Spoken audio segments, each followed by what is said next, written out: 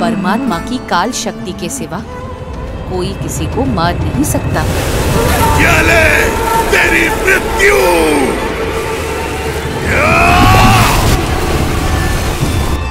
इस जन्म में या पिछले जन्मों में आपने स्वयं जो बुरे कर्म किए हैं उनके फलस्वरूप आपको ये रोग मिला हुआ है।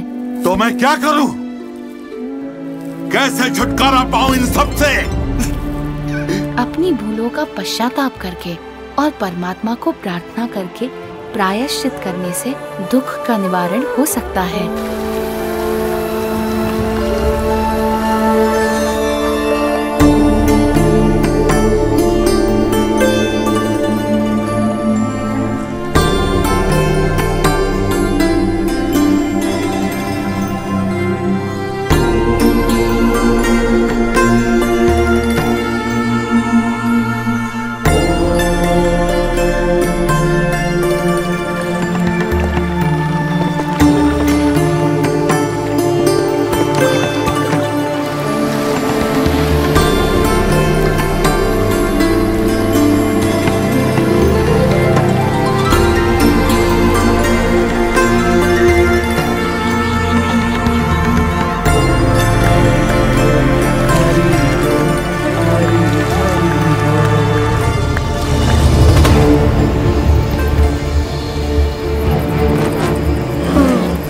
ये तो भालू की आवाज़ है।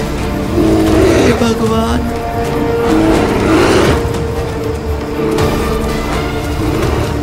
नीलकंठ।